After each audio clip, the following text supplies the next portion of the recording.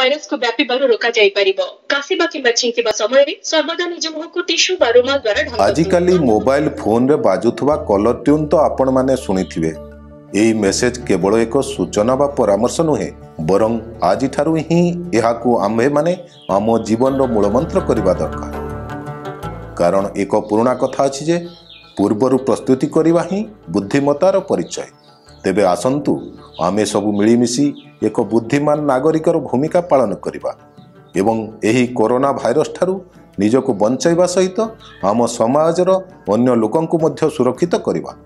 Corona virus ଏକ ସଂକ୍ରାମକ ରୋଗ ଅଟେ ଯାହାର ଲକ୍ଷଣ ଫ୍ଲୁର ଲକ୍ଷଣ ସହିତ ବହୁତ ସାମଞ୍ଜସ୍ୟ ରହିଛି। ଯେଉଁଥିରେ ଜ୍ୱର କାଶ ନିଶ୍ୱାସ ନେବାରେ କଷ୍ଟ ହେବା ଗଳା ଦରଜ ଭଳି ସମସ୍ୟା ଦେଖାଯାଏ। ଏହା କାଶ ଛିଙ୍କ ଖଙ୍କାର ଅଥବା ମିଳାମିଶା ଦ୍ୱାରା ଜଣେ ବ୍ୟକ୍ତିଠାରୁ ଅନ୍ୟ ଜଣେ ବ୍ୟକ୍ତିକୁ ବ୍ୟାପିଥାଏ। ତେଣୁ ଏଥିପାଇଁ ବହୁତ ସାବଧାନତା ଅବଲମ୍ବନ କରିବା ଜରୁରୀ ଅଟେ ଏବଂ ଏହାର ଲକ୍ଷଣ ଦେଖାଦେଲେ ତୁରନ୍ତ ନିକଟରେ ଥିବା ସରକାରୀ ସ୍ୱାସ୍ଥ୍ୟକେନ୍ଦ୍ର ସହିତ ସମ୍ପର୍କ କରିବା ଆବଶ୍ୟକ। କିନ୍ତୁ ଏହିସବୁଥିରୁ ରକ୍ଷା କରିବା ପାଇଁ ସର୍ବପ୍ରଥମେ ଆମକୁ ଭୟଭୀତ ନ ହୋଇ କିଛି ଉପାୟ ଅବଲମ୍ବନ କରିବା। ଯେପରିକି ନିଜ ହାତକୁ ବାରମ୍ବାର ସାବୁନ ଓ ପାଣିରେ ଧୋଇବା କିମ୍ବା ଆଲକୋହଲ ମିଶ୍ରିତ ସାନିଟାଇଜର ବ୍ୟବହାର କରିବା। ଛିଙ୍କିବା କିମ୍ବା କାଶିବା ସମୟରେ ଆପଣଙ୍କ ମୁହଁକୁ ରୁମାଲ ବା ଟିସୁରେ ଘୋଡ଼େଇବା ଅଥବା ଆପଣଙ୍କ କହୁଣୀର ବ୍ୟବହାର କରିବା। ନିଜ ଆଖି ନାକ ଏବଂ ମୁହଁକୁ ବାରମ୍ବାର ଛୁଇଁବା ନାହିଁ। ଯଦି କୌଣସି ବ୍ୟକ୍ତିଙ୍କ ପାଖରେ କାଶ ଜ୍ୱର କିମ୍ବା ଫ୍ଲୁର ଲକ୍ଷଣ ଦେଖନ୍ତି ତେବେ ତାଙ୍କଠାରୁ ନିଜକୁ ଦୂରେଇ ରଖନ୍ତୁ।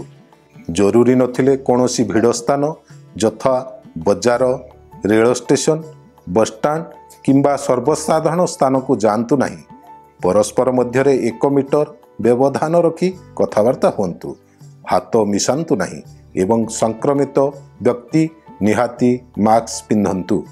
ଯଦି ଆପଣଙ୍କ ଭିତରେ କୋରୋନା ରୋଗର ଲକ୍ଷଣ ଦେଖାଯାଏ ତେବେ ତୁରନ୍ତ ହିଁ ସ୍ୱାସ୍ଥ୍ୟ ଓ ପରିବାର କଲ୍ୟାଣ ବିଭାଗ ଓଡ଼ିଶା ସରକାର ଦ୍ୱାରା ଜାରି କରାଯାଇଥିବା ନିଃଶୁଳ୍କ ଟୋଲ୍ ଫ୍ରି ନମ୍ବର ଏକ ଶୂନ ଚାରି କିମ୍ବା ମୋବାଇଲ ନମ୍ବର ନଅ ଚାରି ତିନି ନଅ ନଅ ନଅ ଚାରି ଆଠ ପାଞ୍ଚ ସାତ କିମ୍ବା ନଅ ଚାରି ତିନି ନଅ ନଅ ନଅ ଚାରି ଆଠ ପାଞ୍ଚ ନଅ ସହ ସମ୍ପର୍କ କରନ୍ତୁ।